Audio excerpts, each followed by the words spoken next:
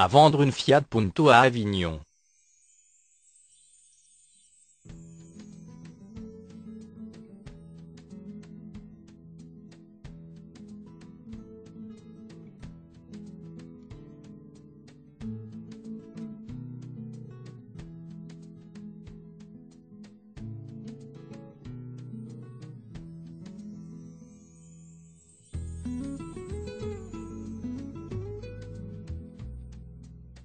Pour plus d'informations, cliquez sur le lien dans la description.